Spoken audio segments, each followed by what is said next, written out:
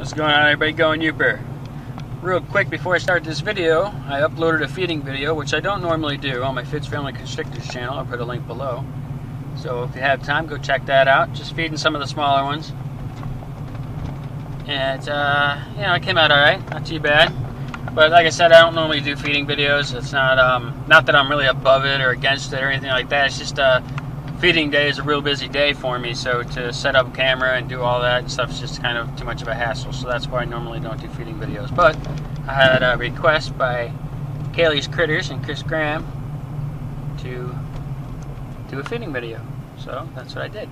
Stopped up at the J.W. Wells State Park and uh, to find out where I'm setting up for tomorrow's uh, snake demonstration and they got this cool little deal on the calendar. If you can see here, it says Snake Man. That's funny, they call me a Snake Man. Come meet Jason, the Snake Man. He raises ball pythons and has an Amazon tree boa. Ask questions and see, see the snakes. Meet at the canopy. So that's pretty cool. Um, I told him I had an Amazon tree boa, so I guess I'll be bringing it with me.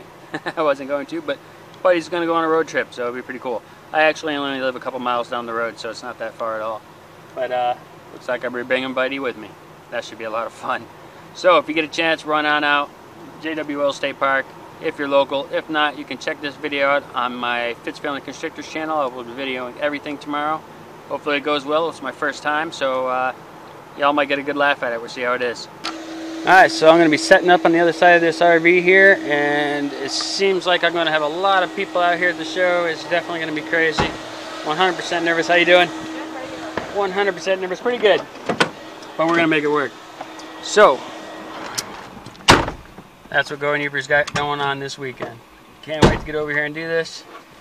I think there's gonna be a ton, a ton of kids, and people are really excited for me to show up. They've been telling everybody. So let's see how it goes. Wish me luck, everybody. Love you all, and as always, see me bye.